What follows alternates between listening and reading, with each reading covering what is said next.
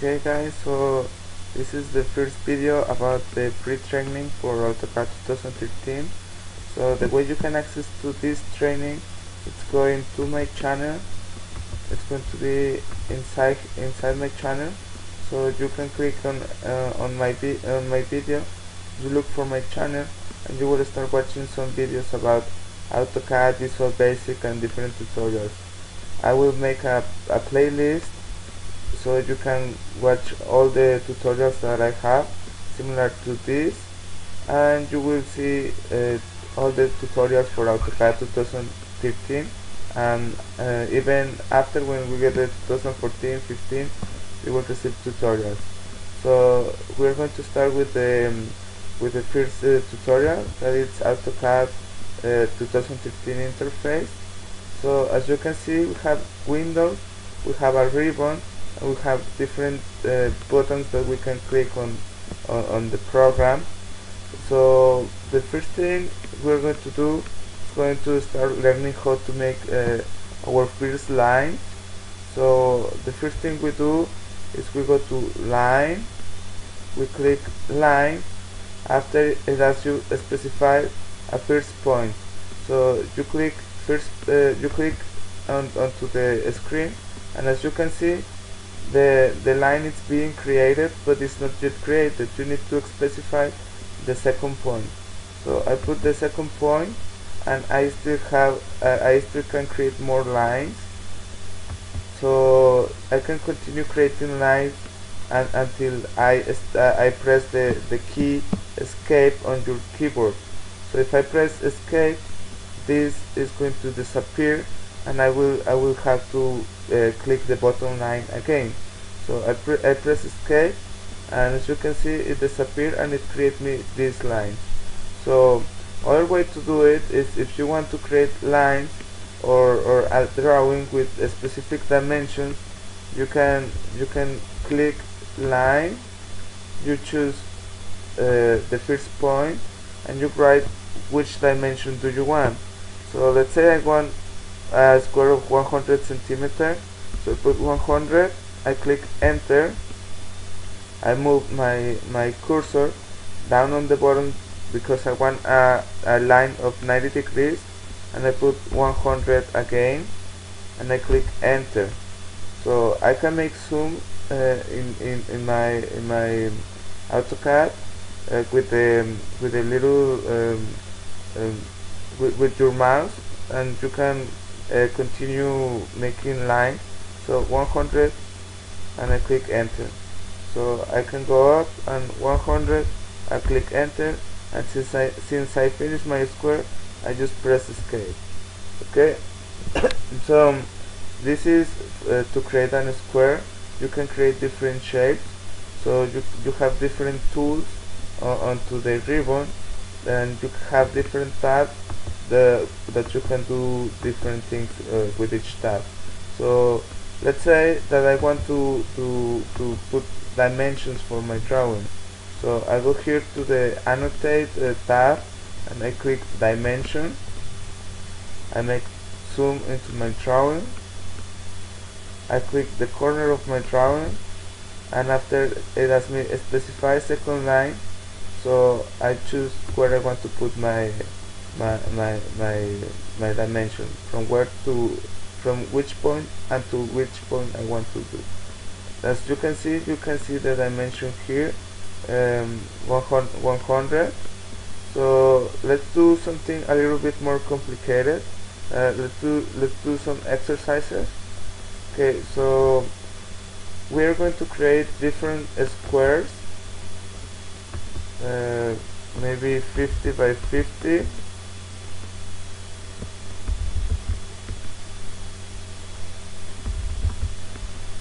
the same thing as we create the first one. Okay now this is this is the the first square I create. I want to copy that uh, square so I will click next to my drawing. I will move my cursor uh, over the over the circle and once I cover the circle I will I will lift my I will lift up my my my my left uh, my left click and it's going to be selected now if I choose the the button copy I can copy that specific square and I can move it wherever I want. So I, I move it right here and I click OK. I can make another one OK. I can make another one OK. To escape from the command you can always use the escape button in your keyboard. So you can continue working with that. So I, ha I have my square. I want to create a circle inside that square. So one way I could do it is I choose line. I put I draw a line from from the from the corner of my square. And I draw another line from the corner of my square to the second corner. So this is my center of my square. And I can just go to circle choose the center of my square and make a line uh, up to the up to the edge of my of my of my square and it's going to create my circle inside. So you can create that. You can create a triangle inside the inside the um, your square. So same thing. You, you put from corner to corner corner to corner. Okay one nice uh, feature from AutoCAD 2015 is that if you choose like let's say the center and you move uh, on, on that line it's going to create you a, this line. It's like a guideline that you can use to make your, your drawings more precise. So this is my middle point. I can click here and I can click the corner here. So I can create um, a, a, a, triangle in, in, inside my square. So as you can see I create a triangle. Uh, to, to delete this uh, I, I, I choose the, the item that I want to delete and I press the, the, the delete key. So let's say I want to do an a different shape here. So what I can do is maybe uh, a triangle with an with an square inside in the middle. So I do I do the same thing.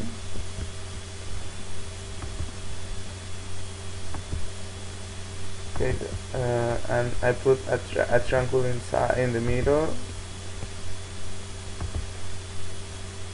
From here to here from the middle. It's the same shape as the as the previous one but now we're going to put a circle inside that square.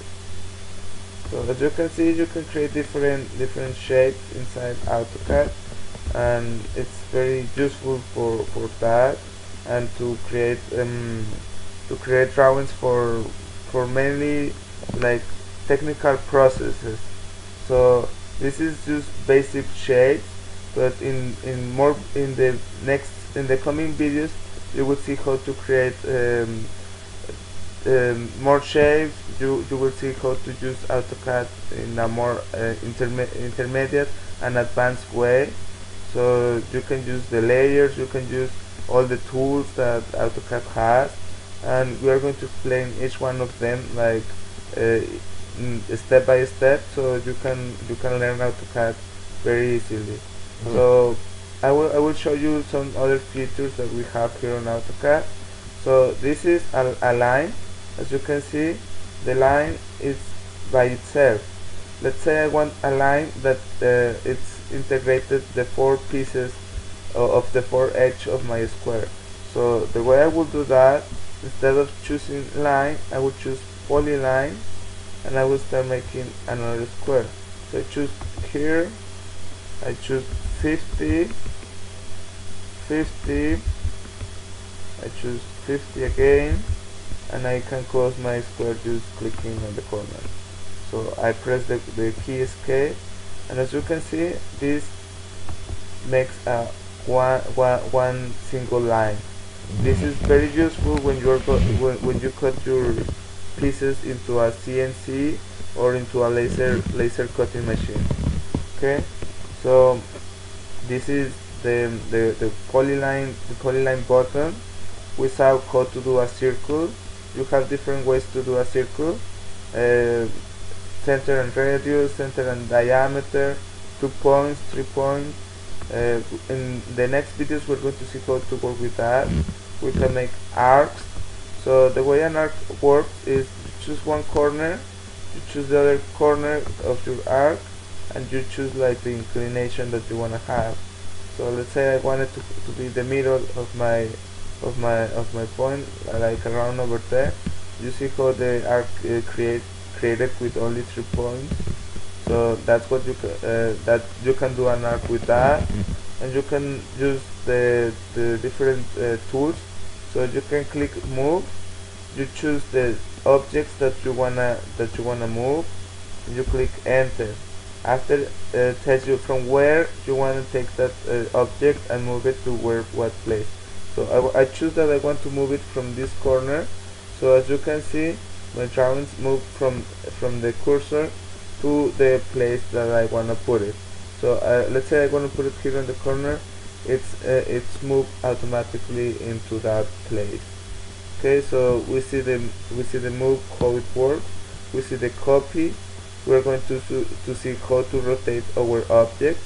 So uh, you will see like a small a small little uh, square into in, that tells you what the, what is the function or what is the what you need to do. So I will choose the the my my my image and I will click enter. So from which part I want to to, to rotate my, my my piece. So I choose from this corner and I will start moving. If I wanted to to to to, to do it into a very specific angle I can write the angle let's say 45 degrees and I click enter. As you can see the the square moved 45 degrees and my, my shape are already changed. That's for um, for for for the rotate uh, uh, for the rotating um, button we're going to work with the mirror so let's say I want to copy this part uh, mirror next to that. So I choose the the, com the command mirror. I choose the piece that I want to mirror and I click enter. So I, I choose from where I want to mirror it. So I choose this corner and I start just moving. As you can see it start it, it start creating the mirror so if I want it at 90 degrees it's going to create me that. And it asks me do you want to erase the object uh, that was previously created? I create no so it's going to create me two. If I put uh, the word Y it's going to delete me the, the, the, the piece that I have there and it's going to create me the other piece only. So I want to keep both so I put N and I click enter. So you can see I have two drawings now you can mirror it again in the opposite direction. So I put mirror I choose this corner and I just move it into into an, into a straight line and I click enter. I don't want I, I want to keep both so I put no and I click enter. You can see I have my drawings.